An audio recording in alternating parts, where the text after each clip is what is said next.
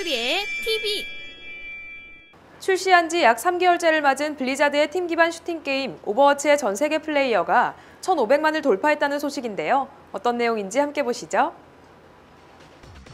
지난 5월 24일 블리자드의 신규 게임으로 주목을 받으며 화려하게 등장한 오버워치.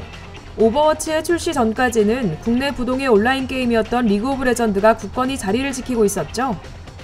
아무도 리그 오브 레전드의 1위를 의심하지 않았고 오버워치 역시 잠깐 이슈가 되는 게임이 아니냐는 의견이 많았습니다. 하지만 뚜껑을 열어보니 오버워치의 인기는 그야말로 선풍적이었죠.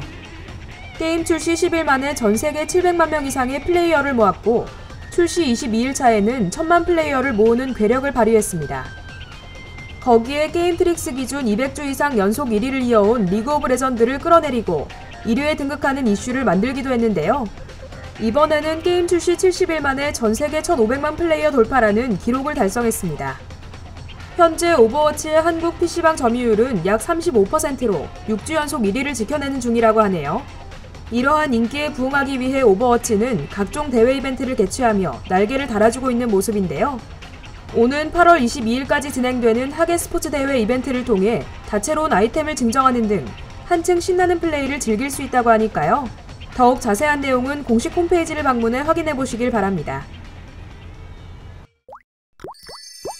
헝그리의 TV